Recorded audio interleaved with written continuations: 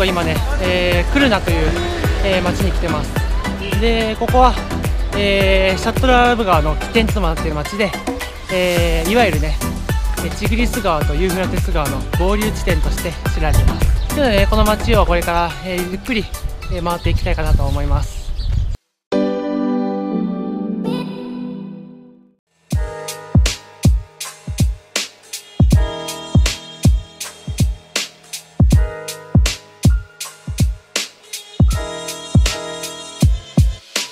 こちらがね、えー、アダムの木と呼ばれている、えー、ものになります。まあ、その当時からね、こうやって、えー、残ってるというふうに、まあ、伝えられているらしいです。まあ、すごいことですよね。本当かどうかわかんないですけど。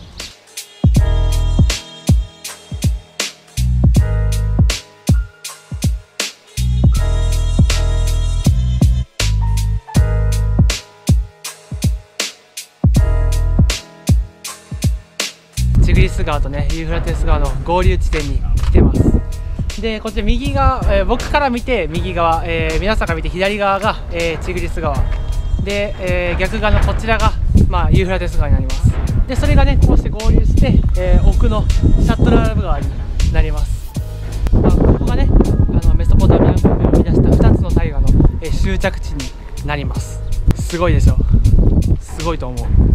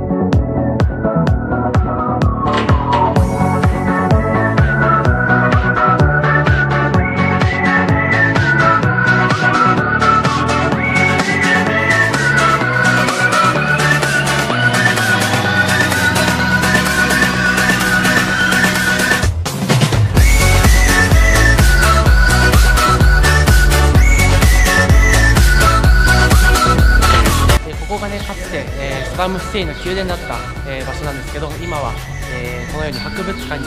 なってます。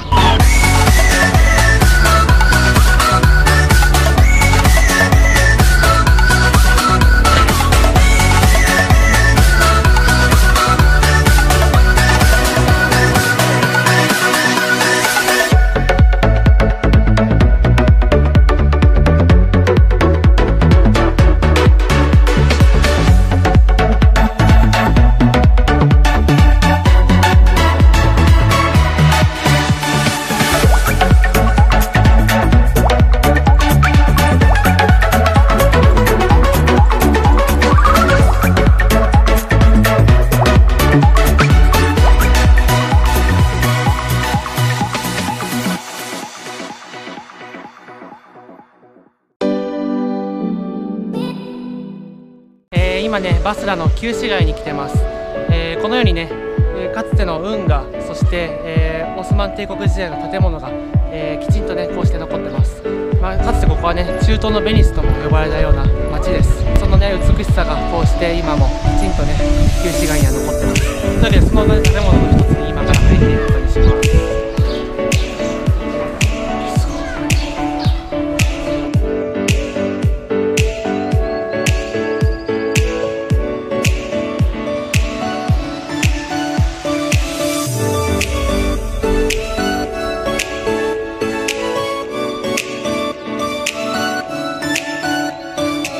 みにね、今ね、この旧市街の復旧活動が、えボランティアで行われてるらしくて、まあ、すごい多分骨のいる作業だと思うんですけど、えーこれは、